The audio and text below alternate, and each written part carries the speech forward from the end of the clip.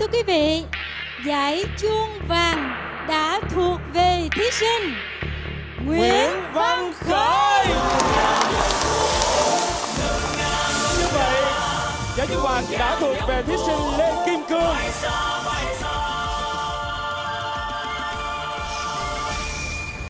Danh hiệu cao nhất của cuộc thi chuông vàng dòng cổ năm 2017 đã gọi tên chàng à, nhân viên tòa án Nguyễn Văn Khởi. Sau cuộc thi thì nhiều khán giả lại nhớ đến anh bằng giọng ca của anh. Vậy còn rất là nhiều điều khác nữa. Quý vị chắc là cũng tò mò rất là muốn biết về Nguyễn Văn Khởi thì ngày hôm nay chúng ta cũng sẽ có dịp giao lưu và trò chuyện với chuông vàng dòng cổ năm 2017 Nguyễn Nguyễn Văn Khởi nhân dịp đầu năm mới quý vị nhé. À, chào Khởi, à, nhìn những hình ảnh vừa rồi thì à, cảm xúc của Khởi như thế nào ạ? À? À, trước hết thì à, Nguyễn Văn Khởi xin à, chào tất cả quý vị khán giả và xin chào anh, anh Kiệt.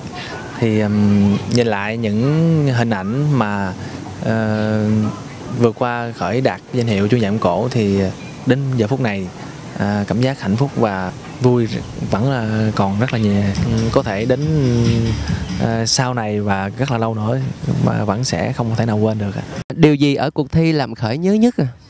Những kỷ niệm mà khiến cho em nhớ nhất đó chính là uh, được um, học hỏi và được gặp những uh, uh, bậc cô chú anh chị em nghệ sĩ đi trước uh, được học hỏi những cái kinh nghiệm và uh, những cái uh, vốn uh, nghề về sân khấu cái lương rất là quý. À, đối với cuộc thi chuông vàng vọng cổ năm 2017 và danh hiệu chuông vàng vọng cổ thì theo khởi tự đánh giá là đã mang đến cho khởi được những gì?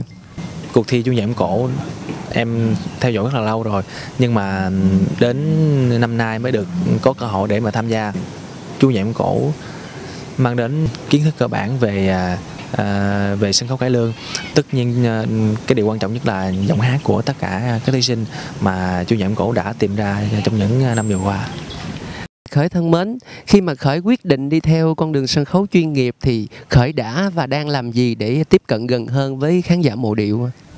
Khi đã quyết định bước vào con đường nghệ thuật thì à, Nguyễn Văn Khởi uh, hiện nay vẫn à, đang học hỏi và đang trao dồi kinh nghiệm từ các uh, bậc tiền bối đã đi trước để uh, đúc kết ra nhiều cái kinh nghiệm và học hỏi thêm nhiều cái khả năng ca hát cũng như là diễn xuất để mà phục vụ cho tất cả bà con cũng như là uh, phục vụ vào cái cái uh, nghề của mình. Kính thưa quý vị khán giả, nãy giờ chúng ta đã nhắc rất là nhiều đến cuộc thi chuông vàng giọng cổ năm 2017 và sự nghiệp của Khởi. Nhưng mà tất cả quý vị khán giả chắc là cũng rất tò mò muốn biết về cuộc sống đời thường của Khởi như thế nào.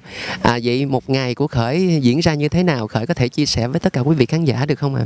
À? Công việc hiện tại của ờ, Khởi vẫn là ừ, nhân viên của đoàn cái lưng Kiên Giang. Buổi sáng thì thường thường ờ, Khởi thức dậy cũng tập hát, tập tập luyện giọng. Thường thường thì được gặp ờ, những cái anh chị em mà nghệ sĩ để mình mình trao đổi kinh nghiệm rồi học hỏi thêm nhiều cái kinh nghiệm của các anh chị thì rồi sau đó thì buổi tối nếu mà có công việc ừ, có đi hát thì thì khởi đi hát còn một điều đặc biệt nữa mà chắc là anh Kiệt cũng như tất cả quý vị khán giả cũng muốn tò mò rất là muốn biết à, khởi có thể chia sẻ về à, người bạn đời của mình cũng như là cô con gái cưng của mình đã được không ạ? Dạ.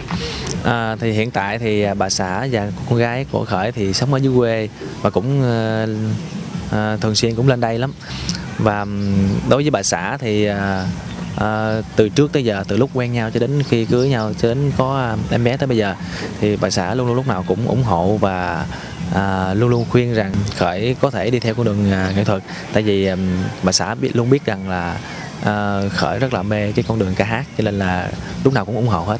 Thế thì còn cô con gái cưng của khởi thì như thế nào? À, hôm nay thì con con gái cũng gần à, thôi nôi rồi. Là ngay mùng 7 Tết là đúng là thôi nôi con gái. Thì uh, hiện tại thì uh, bé rất là ngoan và rất là dễ thương à, là một nghệ sĩ hoạt động trong lĩnh vực chuyên nghiệp thì chắc chắn là sẽ có những lúc mà khởi nhận những vai diễn mà thể hiện tình cảm tình tứ với một bạn diễn nữ.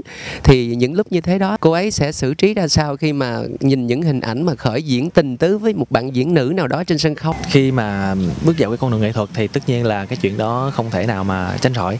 Thì um, mỗi khi mà hát chung với những uh, chị hoặc những là cô um, hoặc là diễn những cái vai mà tình cảm thì uh, nói chung là nói chung là phụ nữ thì tất nhiên là có cũng có chút xíu là ghen. Nói chung là cũng có ghen nhưng mà thì khởi cũng giải thích cho nên là bà xã cũng một phần nào đó cũng yên tâm ạ có khi nào mà có một cái trường hợp ngoại lệ nào mà bà xã chứng kiến những cái cảnh tình tứ đó mà có thể là thể hiện cái cảm xúc không vui á, trong một cái trường hợp bất chợt nào đó thì lúc đó khởi sẽ xử trí như thế nào? Thì à, à, đối với những trường hợp đó thì thường thường bà xã sẽ im lặng và ít nói lại.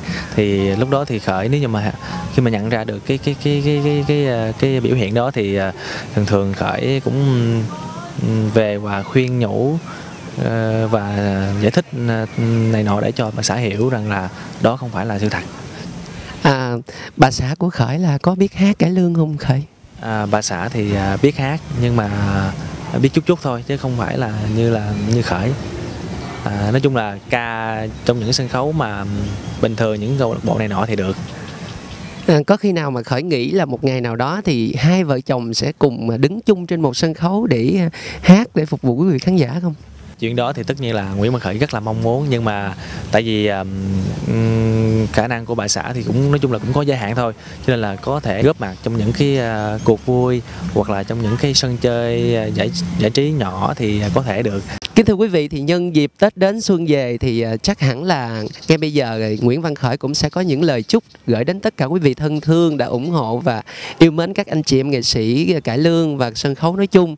Thì ngay bây giờ Khởi có thể có một vài lời chúc đến tất cả quý vị được không em? À, dạ thì à, đầu năm Tết đến thì à, à, Nguyễn Văn Khởi cũng... nhưng mà khoan Khởi ơi à, mình là nghệ sĩ cải lương thì chắc hẳn là chắc mình không có chúc bằng những cái lời nói bình thường đâu. À, kiệt nghĩ là chắc là ngay bây giờ khởi sẽ gửi đến tất cả quý vị khán giả một vài câu à, hát nào đó nhân dịp tết đến để mình chúc cho khán giả có một cái mùa xuân à, thật là an lành vui tươi hạnh phúc nha. Dạ, thì um, à, sẵn đây thì à, khởi cũng uh, xin gửi lời chúc đến uh, tất cả quý vị khán giả uh, qua một cái um, câu hát trong cái bài nhà À, bài tăng cổ mà khởi cũng à, chuẩn bị hát của đêm à, mùng 1 tết.